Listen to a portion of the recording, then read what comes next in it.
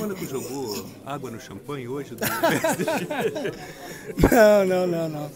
Eles já comemoraram já no, no último jogo, porque foram campeão no jogo passado. É, só que hoje nós procuramos é, é fazer um, um, bom jogo. A gente sabia que a vitória seria importante para a gente e a gente está em busca do nosso objetivo, que é ficar em segundo colocado para se classificar direto para a Champions. Então, a gente veio para fazer o nosso trabalho, viemos para jogar um bom futebol e conseguimos. Vocês o quê? Você atribui o quê? Um pouco da, da vontade do Mônaco? É, você acha que o PSG relaxou um pouco ou foi um pouco da estratégia do Mônaco que realmente deu certo? Eu acho que é automático, um time que já é campeão dá, dá uma relaxada, por já ter conseguido o objetivo dentro do campeonato.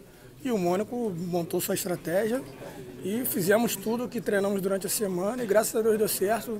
Nas chances que tivemos, aproveitamos melhor que as do Paris e conseguimos o resultado. Inclusive você, né? Sim, tá, tá inclusive eu, bem, graças tá, a Deus. Tá numa, acho que graças tá numa fase boa, começou bem sim, aqui sim. temporada do Mônaco? É, eu precisava de um, de um período para treinar, para uma adaptação, até porque eu vinha de férias do Brasil.